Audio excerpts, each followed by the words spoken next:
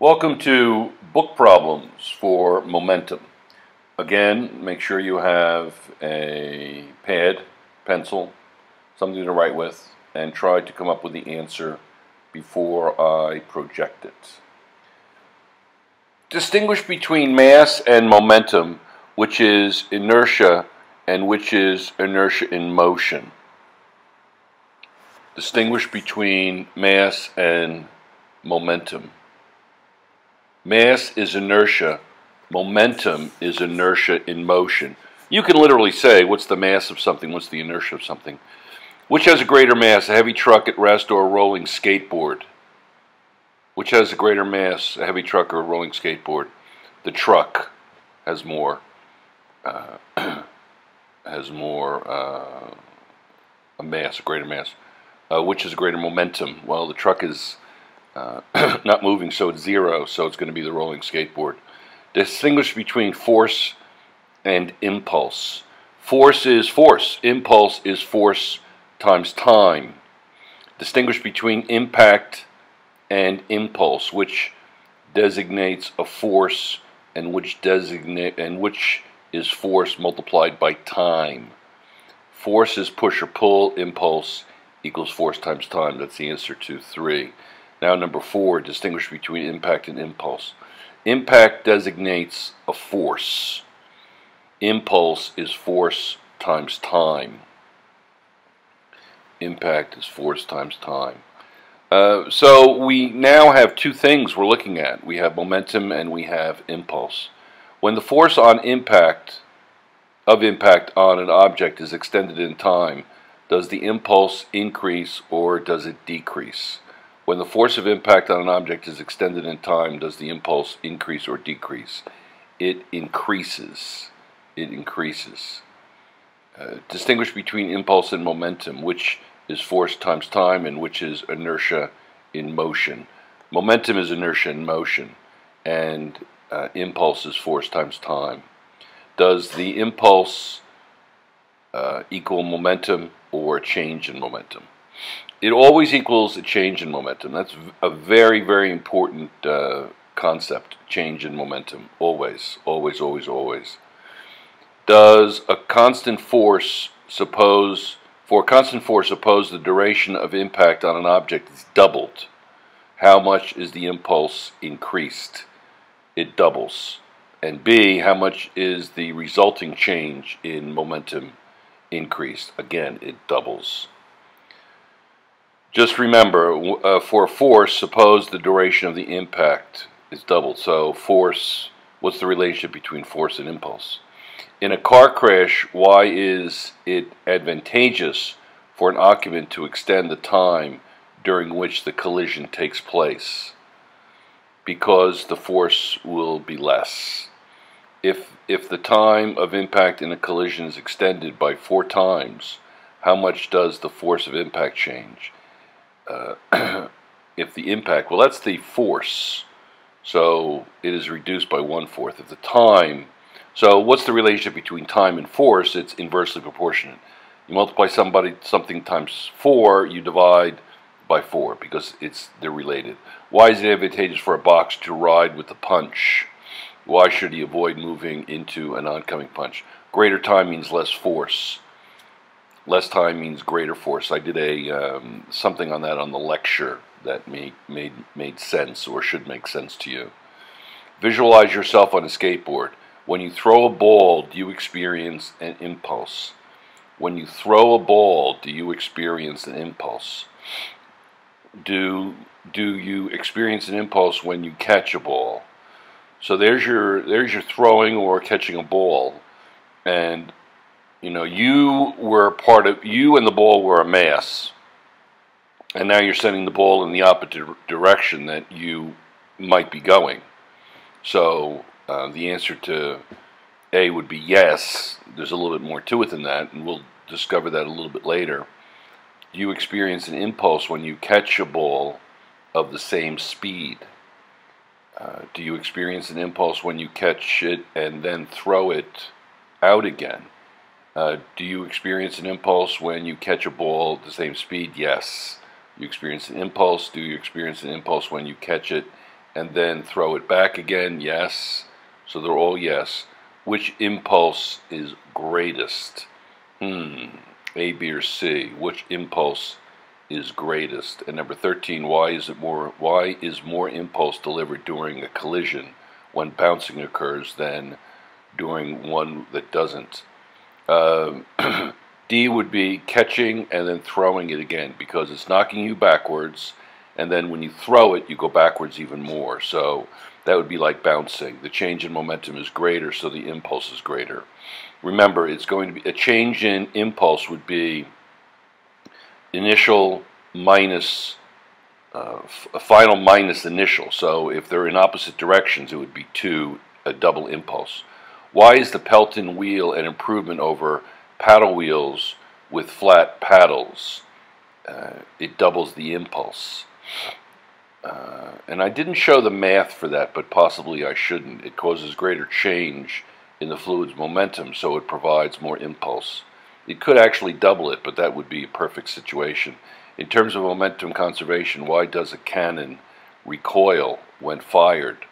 The cannon's momentum must be equal and opposite to that of the cannonball, so that they are, you know, they've got to be, in other words, the initial, the final minus the initial has to equal, the final plus the initial must equal zero, so the one has to be negative, or otherwise they won't cancel. Why does it, what, what does it mean to say momentum is conserved? The momentum before collision is the same as the momentum after the collision. So they must be uh, equal and opposite. Um, and number 17, distinguish between an elastic and inelastic collision. An elastic collision involves uh, bounces. Objects become distorted and generated, generate heat during inelastic collision. Imagine that you are hovering next to a space shuttle in an Earth orbit your buddy of equal mass who is moving at 4 kilometers per second with respect to the shuttle bumps into you. If he holds onto you, how fast does how fast do you uh, both move with respect to the ship? Okay, so number 18 sounds let's let's talk about that a little bit more uh, completely. Let me change the timing on this. So let's talk a little bit more about number 18. Imagine that you are hovering next to the space shuttle in an Earth orbit. Your buddy of equal mass, who is moving at 4 kilometers per hour with respect to the shuttle, bumps into you. If he holds onto you, how fast do you both move with respect to the ship? Now remember, uh, let's read the other ones first. Uh, in momentum, is momentum conserved for colliding objects that are moving at angles to one another, and the balls have different masses and speeds. Rank the following from greatest to least momentum and the impulse needed to stop them. Okay, so let's look at the space shuttle problem again and see if we can come up with an answer. It says, How fast do you both move with respect to the ship? Right. The mass doubles, so the speed is halved, 2 kilometers per hour. You get that? So ignore the space shuttle, but your body, uh, it says imagine you are hovering next to the space shuttle. It doesn't say that you're holding on, but you're moving along with the space shuttle. Your buddy of equal mass, who is with you, uh, bumps into you. So you're going to double the mass, you're going to halve the velocity. You're going to double the mass and halve the velocity. Okay, number 19 says, is momentum conserved for colliding objects that are moving at angles to one another? Explain. Uh, yes, well, if you have two cars going at uh, right angles to one another, let's say they're both the same mass and the same velocity, it's going to create a resolution where they'll be going at uh, 45 degree angles. So yes, and the resulting motion follows vector rules.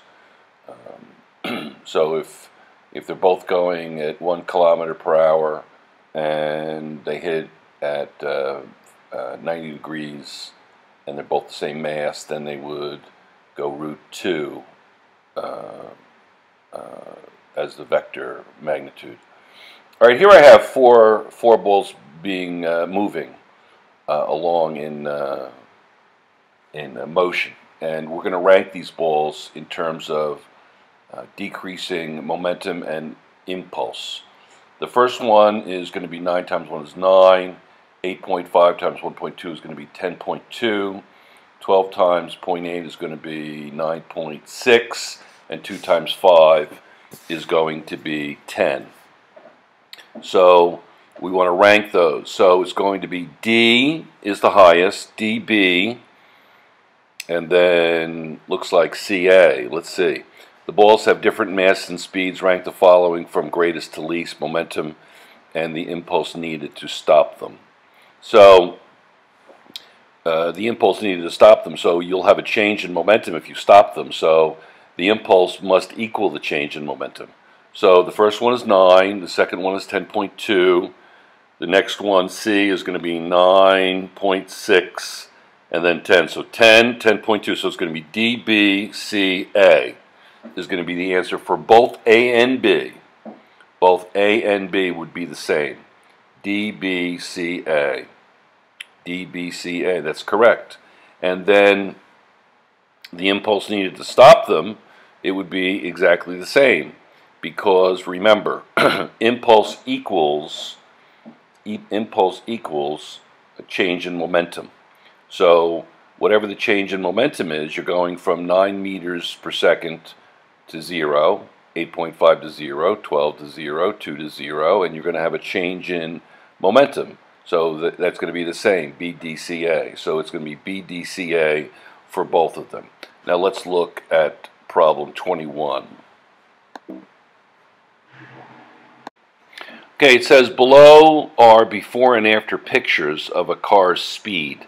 The mass of the car doesn't change. Rank the following from greatest to least. The magnitude of momentum change and the magnitude of impulse produced producing the momentum change. So let's see. In A you have 10 times the mass, so it would be 10. Let's say the car is 1 and then the next one would be 5, and then 10, and then 0.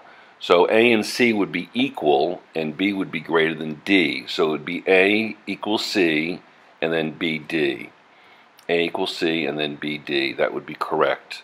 And the magnitude of the impulse producing the momentum change should be the same because the change in momentum is going to equal the impulse in, that caused that change in momentum. Okay, let's look at it again. And in order to speed up that car, you're going to have to apply a force over a certain amount of time. There you go, force, a net force for a certain amount of time. So A and C would have the same impulse uh, or the same force applied. So it would be A equals C, B, D would be the answer to that problem. Okay, so let's look at uh, the next problem. Waiting for the next problem. Okay. Jogging Jake runs along a train flat car that moves at the velocity shown. In each case, Jake's velocity is given relative to the car. Rank the following from greatest to least. The magnitude Remember, it says magnitude. The magnitude of Jake's momentum relative to the car, and B, Jake's momentum, that's a vector, relative to the right, uh, to an observer at rest on the ground. So A is just magnitude and B is the actual vector. So A is uh, A is 4, C is 4, so they're equal. B and D are equal, but B and D are greater. So it would be B equals D, and then and then A equals C. So B equals D and A equals C. Those would be the uh, vectors. Easy. Now, next. Next, we want to look at the momentum. All right, let's look at the answers first to the magnitude and they are actually correct. It would be B is equal to D, and A is equal to C. Now, next, Jake's momentum to the right, which is the positive, left is negative, uh, to an observer at rest on the ground. So we want to find uh, relative to the ground. So um, A, he's moving positive 4 uh, to the right. And B is uh, 4 to the left. so it'd be negative 4. B would be negative 4. A would be positive 4. C would be a positive 10. And D would be a positive 12. So it would be D, C, A would be positive 4, so that would be next, and then B. So it would be B, C, A, B in that order because the B is going to be negative 10 to the left and positive 6 to the right. The answer would be negative 4 to the left, and A would be positive 4 because it's going to the right. So you're simply adding the vectors. It's similar to mechanical equilibrium back in chapter 2. So uh, nothing changes relative to uh, this particular material. And that would be correct. DCAB. So you're going clockwise from D. And that would be absolutely correct. Next, number 23. Rick, Rick pushes crate starting at rest across the floor for three seconds with the net force as shown.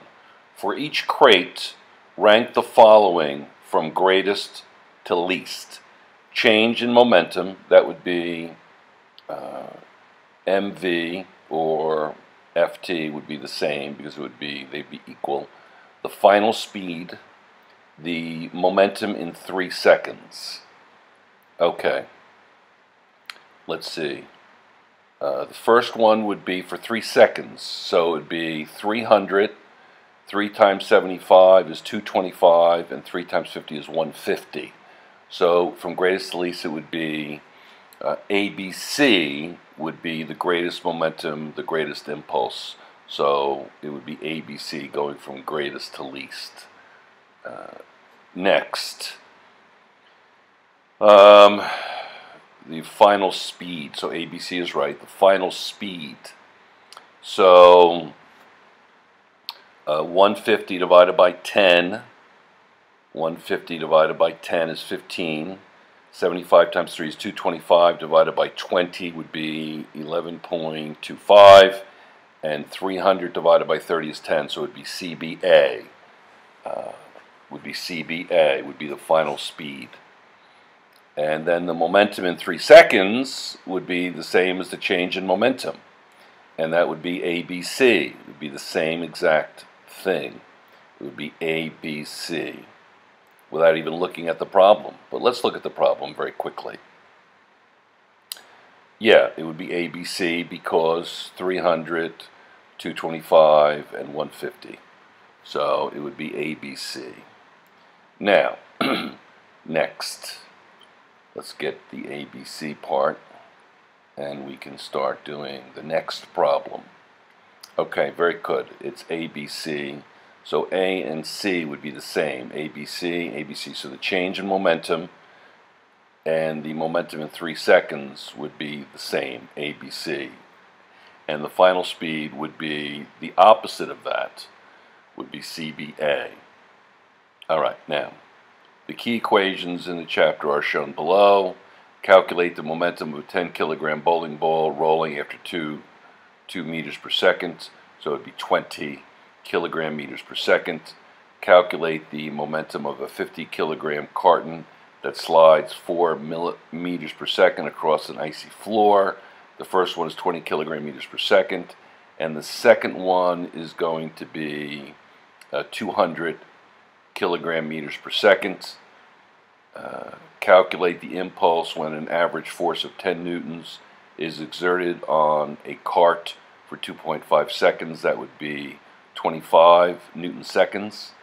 And the 25 is correct, 200 kilogram meters per uh, kilogram meters per second. And the last one would be 25 newton seconds. So they would also be equal. Very good. So, um, and that's 25 newton seconds. So you can you can call impulse newton seconds. There's no problem with that, newton seconds. So, um, next, let's start the next one quickly. Okay, calculate the impulse when an average force of 10 newtons acts on a cart for 5 seconds. That would be 10 times 5, which would be 15 newton seconds. A lunar vehicle is tested on Earth at a speed of 10 kilometers per hour. When it travels as fast on the moon, is its momentum more, less, or the same? Is it more, less, or the same? You can see that the first one is 27 is correct. That's 50. That's 10 times 5 newton seconds. The momentum is the same. Its weight changes, but not its mass. Remember, momentum is based on mass. Uh, when you ride a bicycle at full speed and the bike stops suddenly, why do you have to push hard on the handlebars to keep from flying forward? Because uh, so that the reaction force of the handlebars on you will produce a backward acting impulse. Uh, it kind of stops you from from being launched.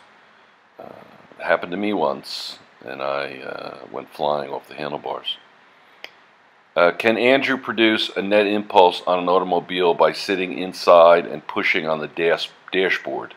Can the internal forces within a soccer ball produce an impulse on the soccer ball that will change its momentum? Well, no, because uh, you're inside the object. So that's like saying a, a soccer ball can move all by itself on its own. No, forces within are internal and provide no impulses. The forces have to be acting externally for this to work. Brian tries to jump from his canoe to the dock. He lands in the water, delighting his companions. What's your explanation for this mishap? Same momentum change for both Brian and the canoe. Since canoe moves backwards as Brian jumps forwards, he falls short of the dock.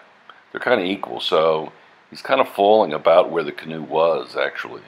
So he falls in the water as a result of that. Jason throws a ball horizontally while standing on roller skates. He rolls backwards with a momentum that matches that of the ball. Will he end up rolling backwards if he goes through the motion of throwing the ball but does not let it go? He will move to and fro with no net change. If there is no momentum change on the ball, um, he's not going to go anywhere. So uh, only he has to actually release the ball. Like it says in the problem, in the answer, there is no oppositely directed momentum change to Jason. Uh, so uh, the next one is related to that, and it says the example in the previous question can be explained in terms of momentum conservation and in terms of Newton's third law.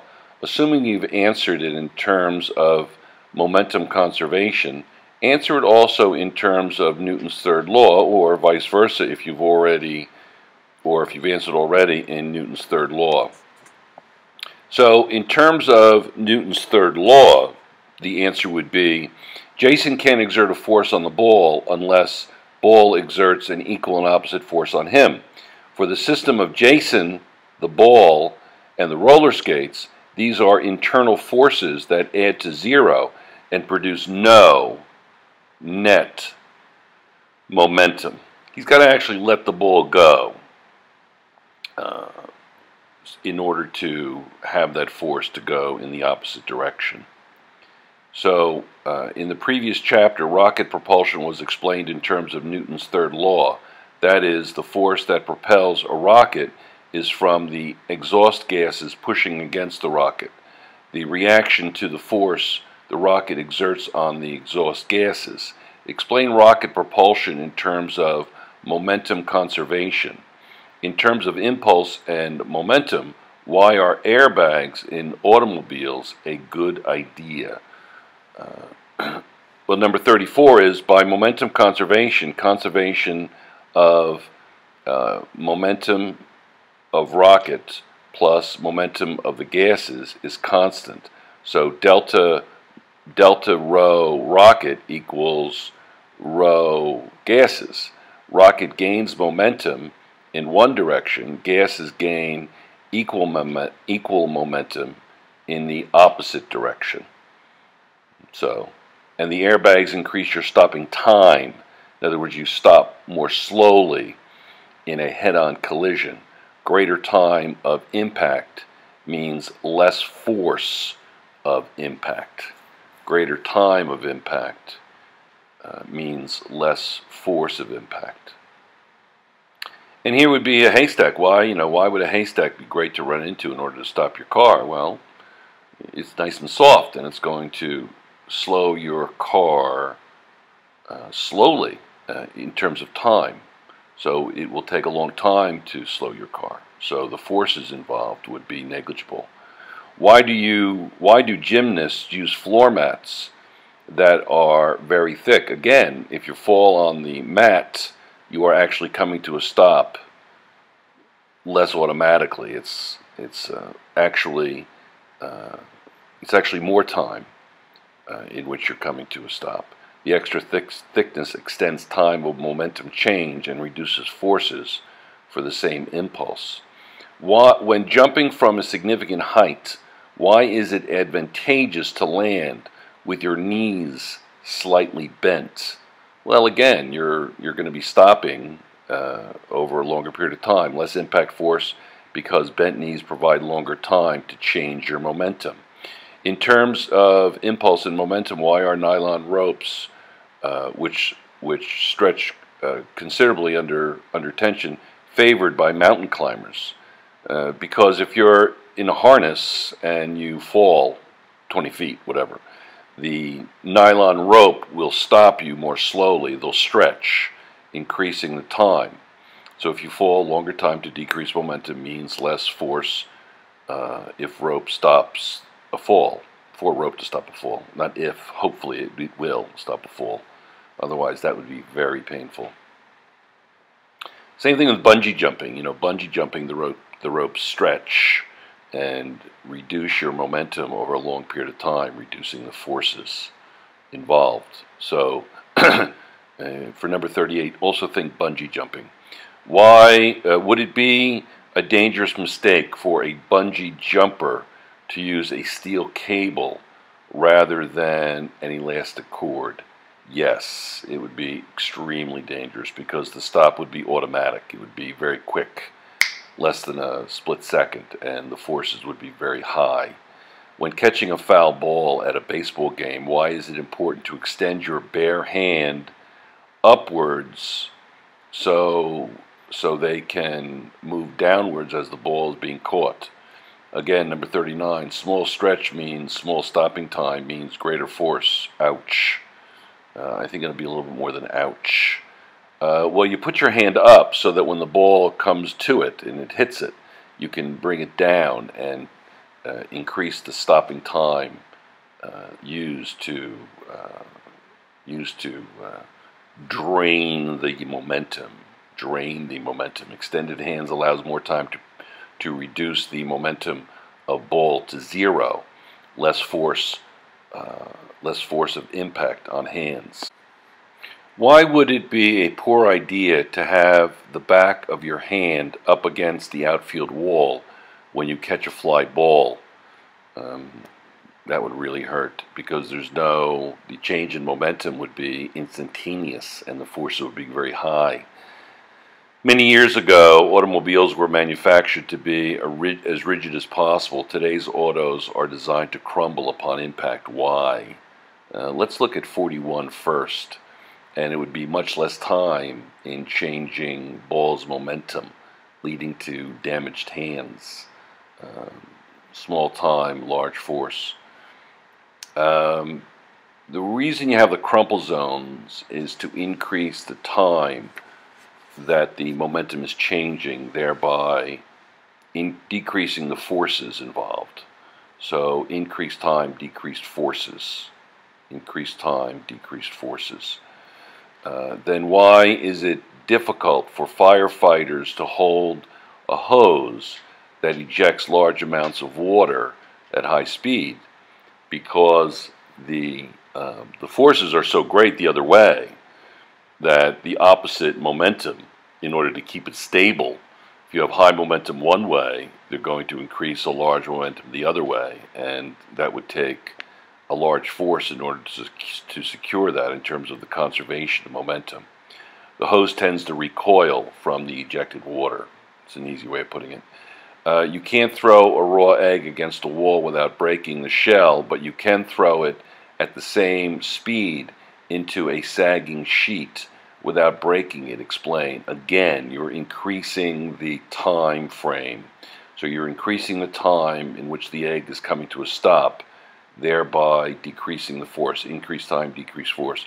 Why can Muhammad exert a greater punching force with his bare fist than he can while wearing a boxing glove? Number 44, again, the time it takes to stop is extended more time, less force, and a less likely broken egg. Uh, because uh, Mom, uh, hand uh, is going to uh, is going to uh, decrease the stopping time. So decrease stopping time, increase force. Why do six ounce boxing gloves hit harder than 16 ounce boxing gloves? For the same reason. Uh, less impact time with a fist, more impact force. Same idea. Um, the greater the ounce glove, uh, uh, the more the more stopping time you're going to have because the 16 ounce glove means that it's padded. Why do 16 6 ounce gloves hit harder than 16 ounce gloves? Again, because the 16 ounce gloves would have more padding, greater stopping time, less force.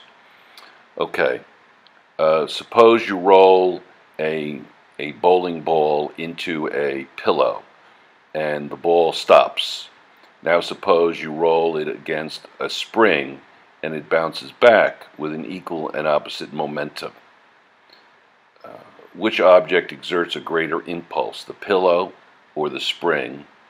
And if the time it takes the pillow to stop the ball, okay, the spring, again the spring because it's going to double the momentum because you're bouncing, okay?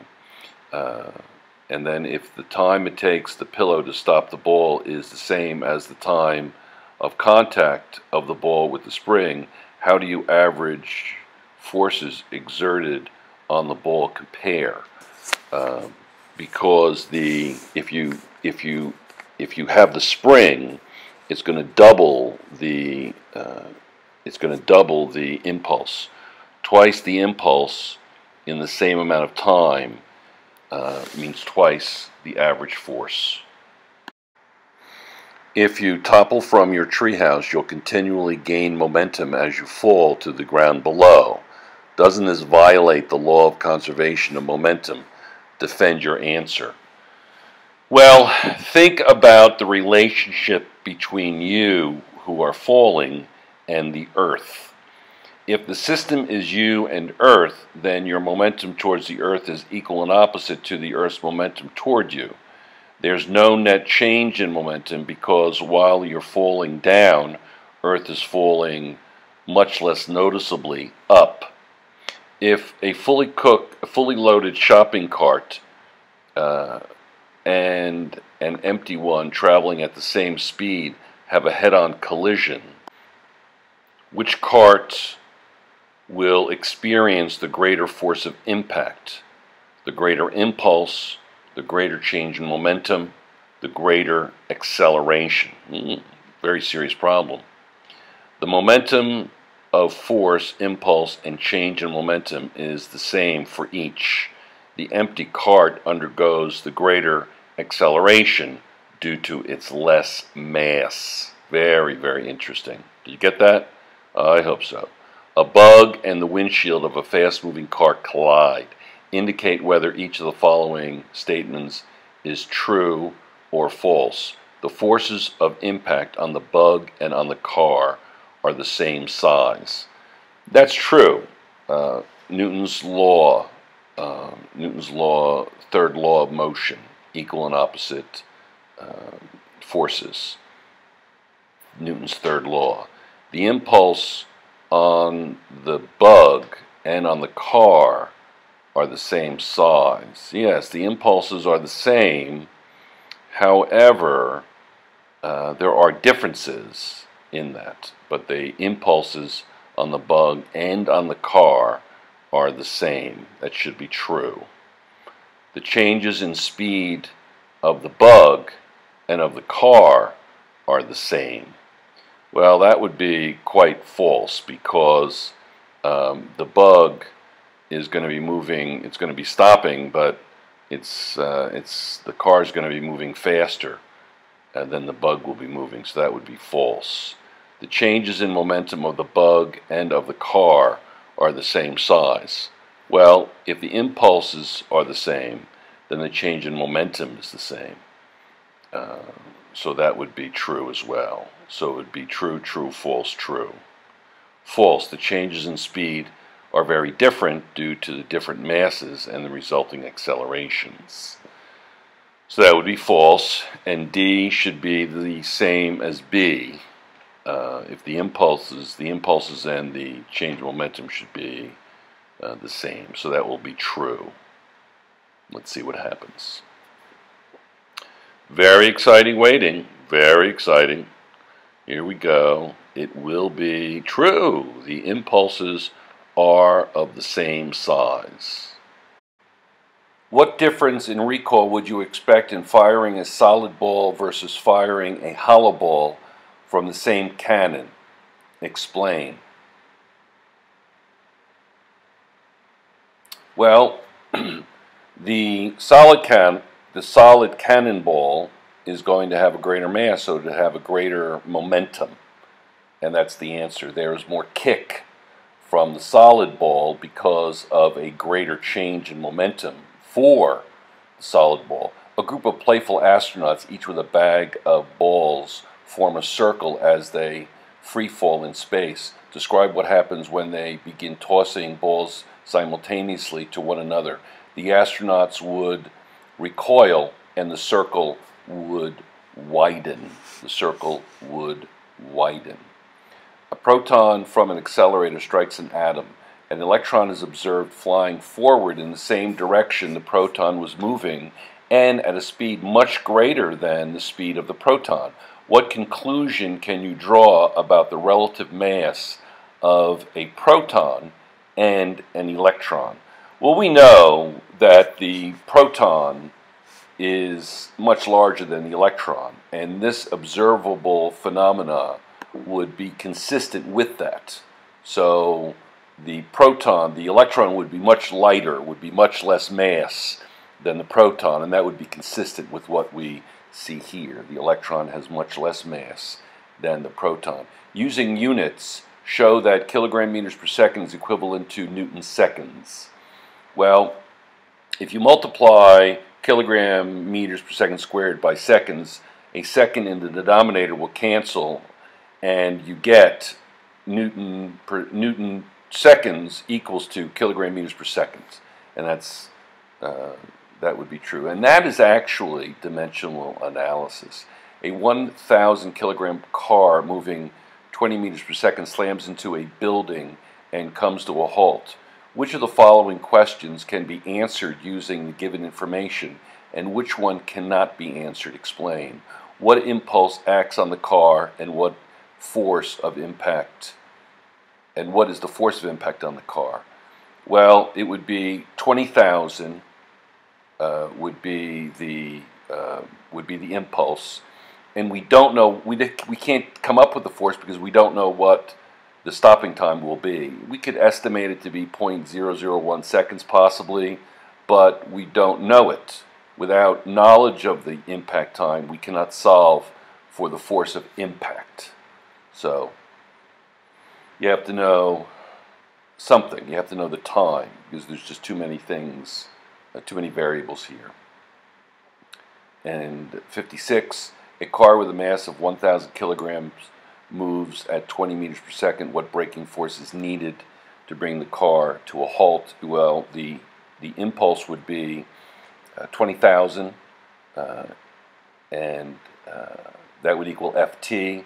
So if you divide by 10, it would be 2,000 newtons would be the force, the braking force that you would need uh, to bring the car to a halt in 10 seconds. So 2,000 newtons. Right. Next, 57. A 2 kilogram blob of putty moving 3 meters per second slams into a 2 kilogram blob of putty at rest. Calculate the speed of the two stuck together blobs of putty immediately after colliding. Well, the first, the total momentum in the beginning would be 2 times 3 is 6. And then, um, then it would be 6 equals the total mass, which would be 4. So 4 divided by, 6 divided by 4 would be 1.5. And the speed of the two blobs, the calculate the speed of the two blobs if the one at rest was 4 kilograms. And you would simply, um, you would simply uh, do, the, do the math.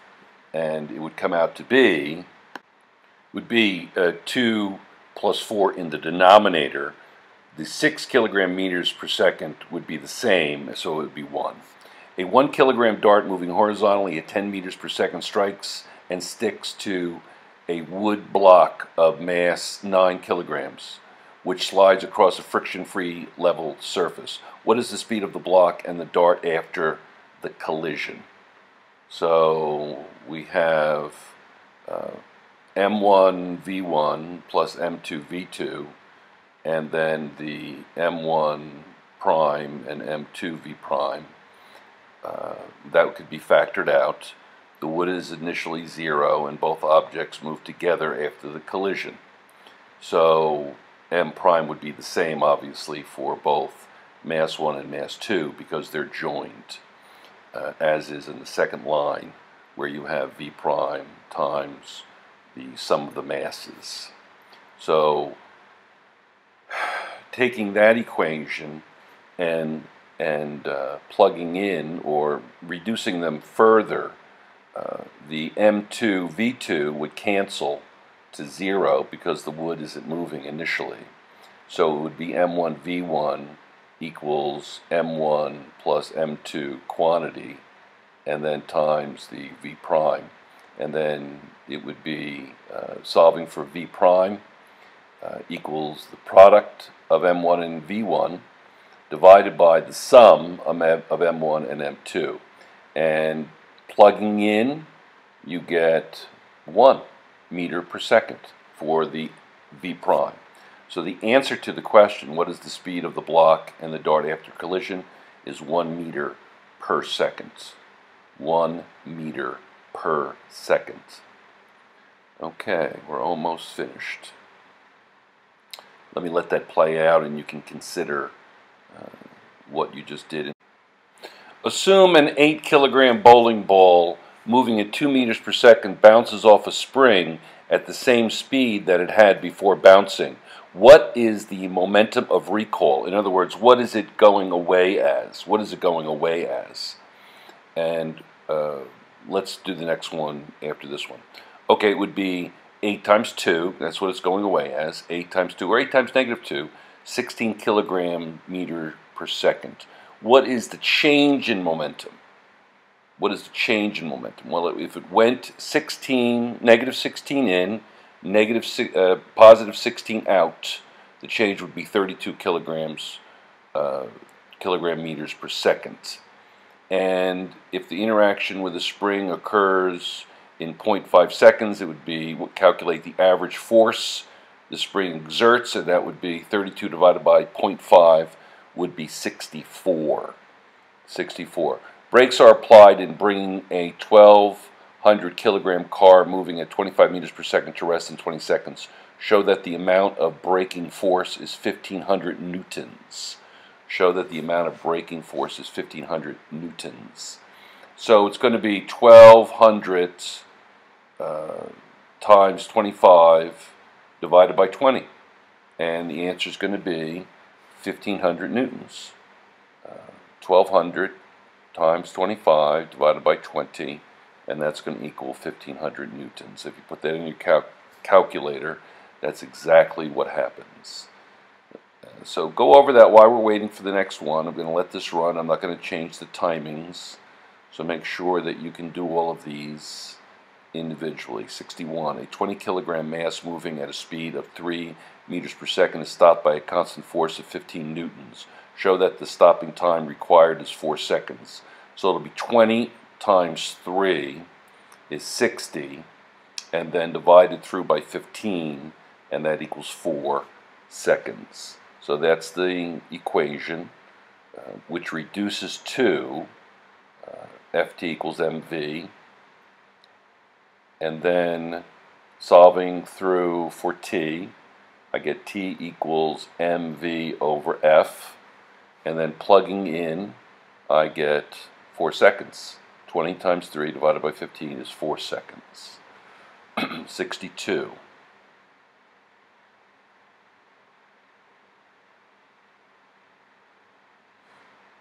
Coming up, I haven't left the air. I'm still here.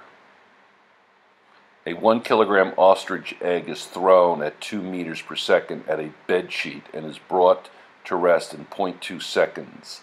Show that the average amount of force on the egg is 10 newtons. Show that the average force on the egg is 10 newtons. Well, it's going to be 1 times 2 divided by 0.2, and that is 10. So why don't you work that on your calculator. Uh, I'll come back when it's at number 63. Have fun.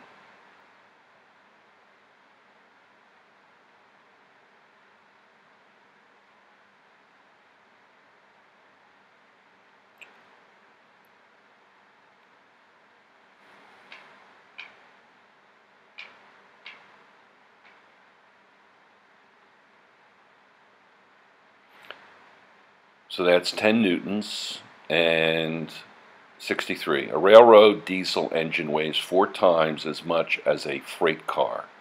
If the diesel engine coasts at 5 kilometers per hour into a freight car that is at rest, how fast do the two coast after they couple? Very interesting problem. Four times the weight means four times the mass. You can cancel the g's out. Four times the weight means four times the mass. Excellent. So now what? See if you can come up with the answer. A railway, a railroad diesel.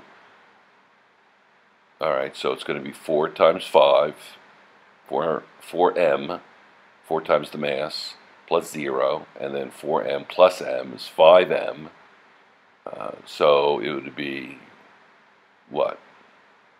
The M's cancel, one of the M's cancels. So what happens? So I get four kilograms, four, kil four kilograms. The, uh, the M's cancel and I get four kilometers per hour. Four kilometers per hour. If you can do this problem, you're pretty good. If you can do this problem, you're pretty good. So, uh, how fast do the two coasts after they couple?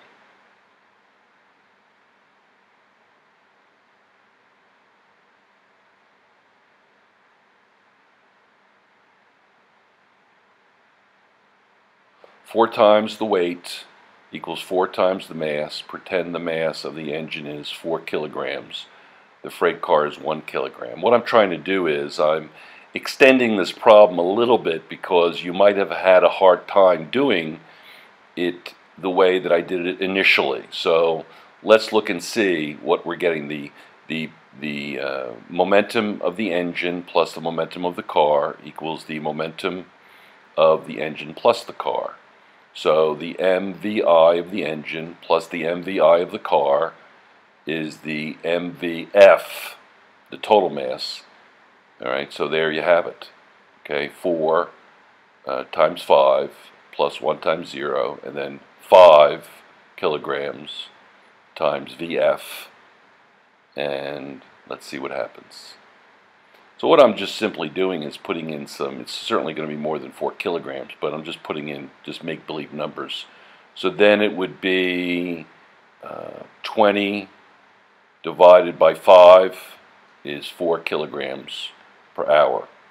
Uh, you put in any ratio of 4 to 1, uh, you know, you're going to get the same answer. A comic strip superhero meets an asteroid in outer space that hurls it at 100 meters per second. The asteroid is a thousand times more massive than the superhero is. In the strip, the superhero is seen at rest after the throw. Taking physics into account, what would be his recoil speed? What is this in miles per hour? So when you see this, you'll be absolutely positively amazed because, uh, you know, you see Superman with the jet and everything else, and it just doesn't make any sense in terms of uh, momentum and conservation of momentum? Well, you know that the initial momentum yields the final momentum. That's true. So I'm going to let this play out and see if you can figure things out. So the so zero equals uh, the mass of of the superhero times the velocity of the superhero and the mass of the kilogram, the mass of the uh, asteroid times the speed of it equals zero. So then we see that, what's that? 10 million, yeah, 10 million kilograms meters per second divided by 100, and that's going to be the velocity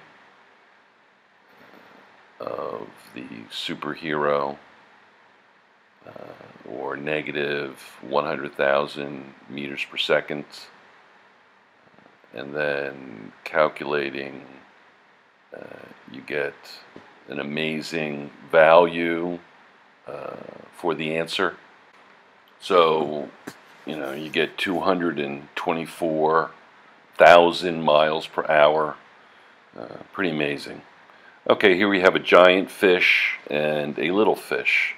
I think this actually might be the last problem, and we're going to drag this out a little bit.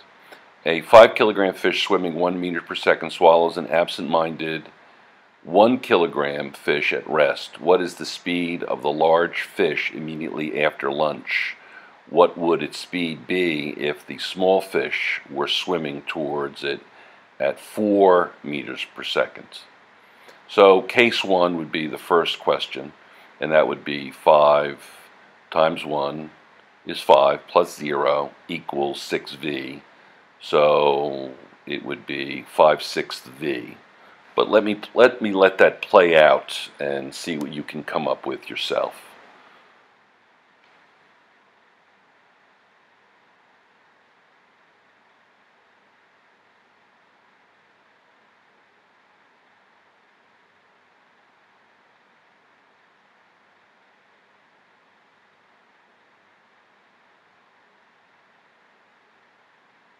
So uh, the next one is going to be what would its speed be if the small fish were swimming towards it at 4 meters per second. It's a little different. Instead of being at rest, and don't forget the sign of the small fish, the speed of the small fish is equally as important. It would be negative 4. So that's 5 plus negative 4 would be 1 so it would be 5 plus negative 4 equals VF6. Uh, so it would be 1 kilogram meters per second on the left, and 6, so it would be 1 sixth would be the answer. 1 sixth. And the kilograms cancel, and you're left with 1 sixth, and that completes our problems.